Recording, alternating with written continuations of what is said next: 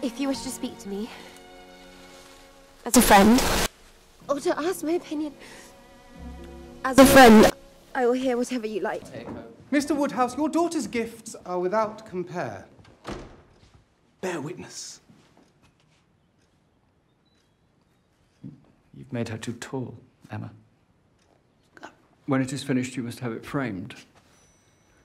Allow me. Will you marry me?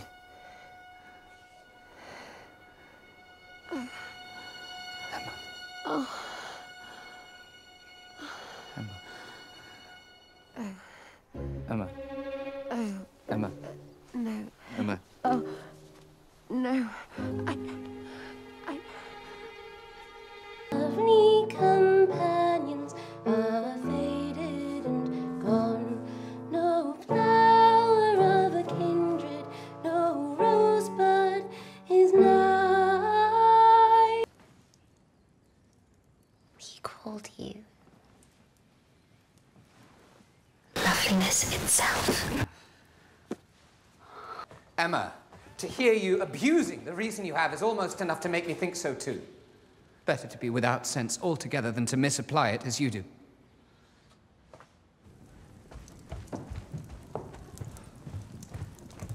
Men of sense do not want silly wives. I, I cannot. Why not? Harriet! Harriet? She's that you may love her too!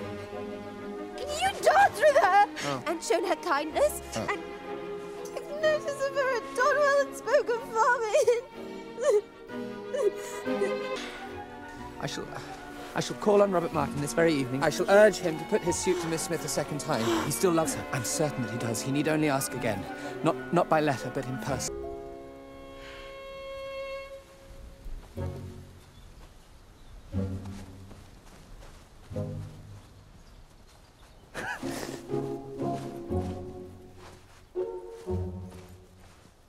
What a pity you did not bring your music. I hope I can recollect the tune.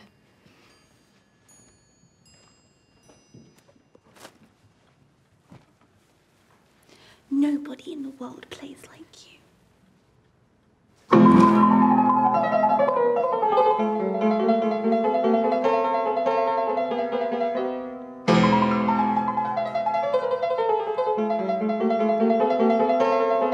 Twelve seconds later.